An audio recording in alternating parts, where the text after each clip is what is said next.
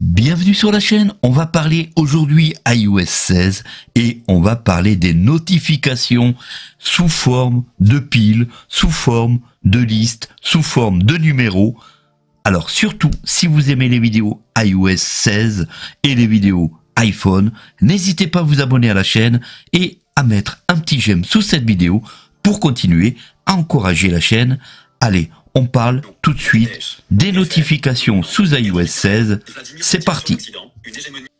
Alors, iOS 16 nous en fait voir de toutes les couleurs et même côté notifications, on va essayer de voir ensemble comment remettre les notifications comme à l'époque. C'est parti et ça en toute accessibilité. On n'aura pas d'autre choix de faire venir les notifications du bas, mais on pourra toucher aux notifications sous forme de pile. Le geste du bas sera inévitable et pour les utilisateurs de VoiceOver, vous n'aurez qu'à pitcher et entendre le mot-clé que vous allez tout de suite entendre maintenant.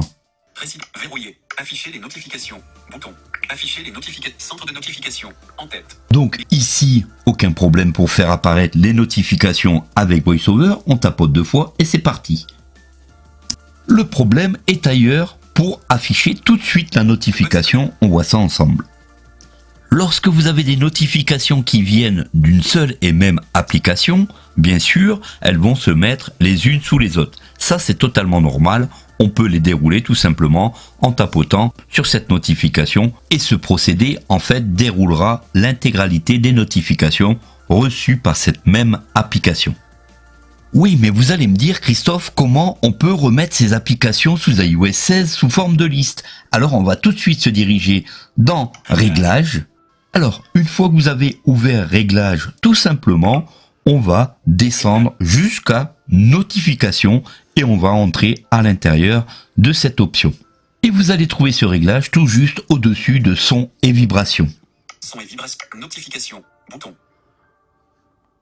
Affiché comme en tête.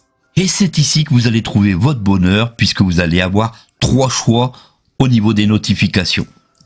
Par défaut, Apple a voulu mettre ça sous iOS 16 en pile. Eh bien non, on va le mettre en liste. Nombre. Le premier choix est donc nombre, pile. sous forme de pile. Sélectionner, liste. Voilà donc l'ultime case à cocher sous forme de liste.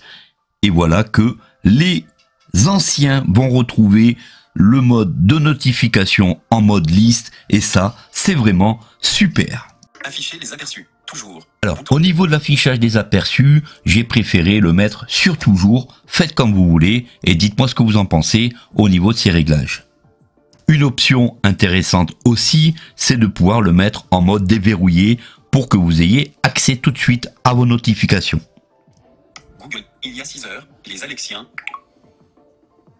voilà donc ici j'ai cliqué sur ma notification, tout de suite ça m'a dirigé sur la page adéquate. Et tout ça, bien sûr, à partir de l'écran d'accueil. Je sais que beaucoup d'entre vous n'aimez pas du tout ce que iOS 16 vous avez amené à partir des notifications.